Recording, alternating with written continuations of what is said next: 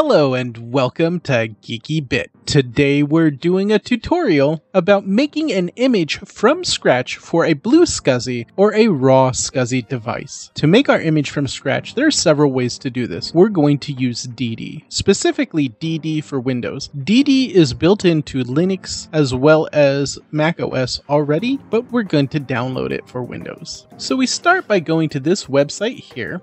Take a look at there's what it is now, what we do is we go to, oh, downloads. Oh, no, no, no. This is the wrong section. I need to go back. So we'll go back.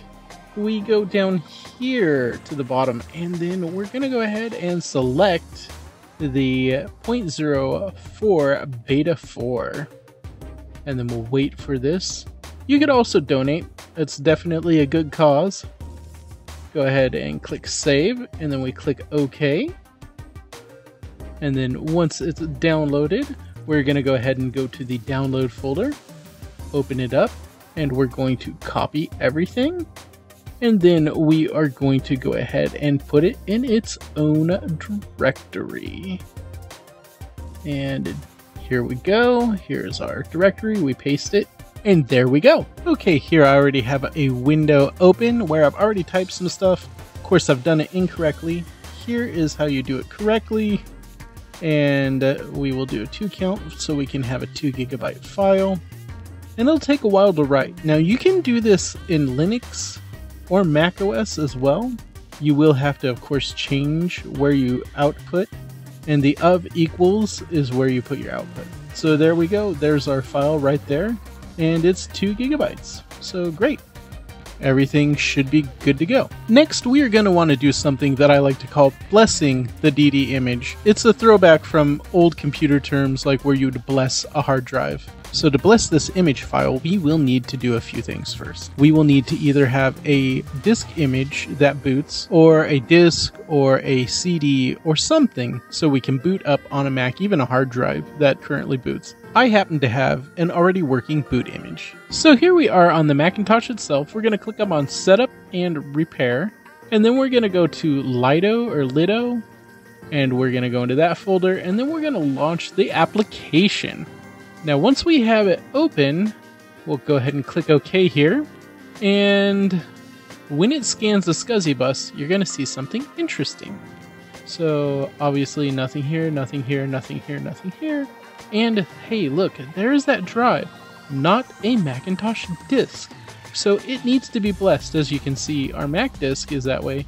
And I'd show you the customized partition, but here's the thing you can't show it because, you know, it's busy. It's the boot drive. So, if we go to the Macintosh hard drive that says not a Macintosh disk, and we go up to partition, watch this. We go to customize. It'll spit out an error at us. Hey, you need to format it. Something's wrong here. So that's easy enough to do. So we go ahead and click format, and we go ahead and click OK here. And it's going to spit out some more errors at us, but that's fine because it's you know, just an image file at this point in time. It doesn't understand. So there we go. It uh, will do that. Click OK. And now we have no volume. This is good because now it's blessed, so to speak, but let's customize a partition. So we'll go here and let's select this image and then let's click OK. Alright, and here we go. See, there's the blessing portion of the, the file right there. So put those two teeny little partitions at the front. Now, let's go ahead and we're to select this area right here and make our own Macintosh volume. And we're going to go ahead and use the entirety of the space here, which is the 2097104. Click OK. And then I was thinking about what to name this volume. I thought, well, maybe you should call it test, but I was like, no, because we know it'll work. And then I was like, you know what? Custom disk. That would definitely be a good name. So we'll go ahead and do that. And then we'll click OK. Now we click Done, and it's going to do some things. It takes a little bit of time. It's basically uh, doing everything it needs to do to make this a working hard drive from its standpoint. And then we will spit back out to the menu here. And as you can see, there's custom disk. So we got it working.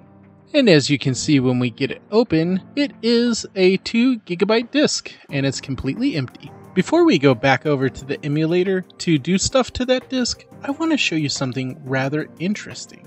So here I am booted up to a different SD card with different disk images on it. And we're going to go to setup and repair in this one and go to Lido or however it's pronounced here.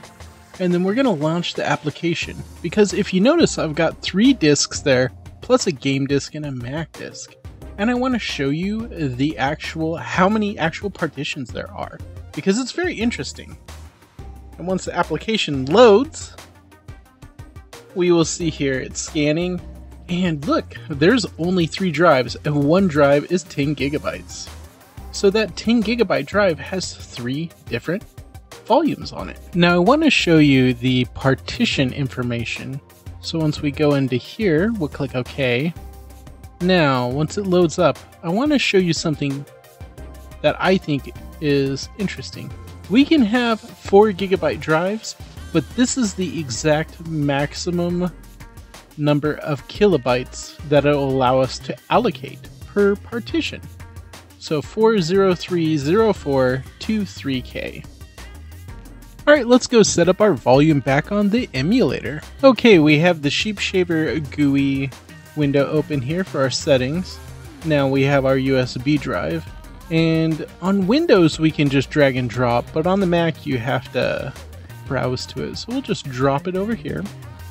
And then we click start. And then dragging our window over here. As you can see, here's custom disk. So let's rename it we will call it Mac HD. All right, and we'll click on it, and as you can see, yep, two uh, gigabytes. So we'll go ahead and we can go to Legacy Recovery, go to Mac OS, and then let's go to System 7.5, and then we'll do an install. We'll just wait on it here, and then click Continue, and then switch to the correct disk, and install. And as we've seen the install before, we'll just go through it and have it ready to go. And now that's done, here is our Mac HD, all ready to go and boot off of. Okay, we have our mouse, and there we go, happy Mac, we're good to go. You've done everything just like I showed you in this tutorial, but somehow it's still not working. So this section is for troubleshooting. So let's put our SD card back in our computer and see if a log file was written. As you can see in this image, that's what it should look like if a log file was written. Now let's open up that log file and examine it. It should look something like this if it was correct. So if we open up the SD card but have no log file and some flashing lights on our BlueSCSI shown here, we probably have some other issues. If this was a kit and not a pre-assembled unit, let's take a look at the solder points on the micro SD card adapter and make sure we have them correct. This is an image that shows them all soldered correctly. You may have a little more solder than this on yours, but make sure there are no solder bridges. If that was good, let's go ahead and use the SD card formatter utility. We will go ahead and do a overwrite format on our SD card, and you can download it from a link in the description. After you use the SD formatter tool, if it's still not working and you've tried everything else, you may want to try a different SD card, preferably another brand if you have one. Something to note also if you have a Mac Plus, you may need to do a diode mod for it to work correctly. Lastly, if all else fails, you can always go check out the Discord for Open Retro SCSI, as there is a BlueSCSI support section there, and a link to that Discord is in the description below. I hope this video tutorial helped you, and you are on your way getting your retro Macintosh up and running with old games and applications, and just the way you wanted it. And if you like this, feel free to click that like button, and if you aren't subscribed so already, feel free to do so. And if you'd like to get notifications of my future videos, click that bell button.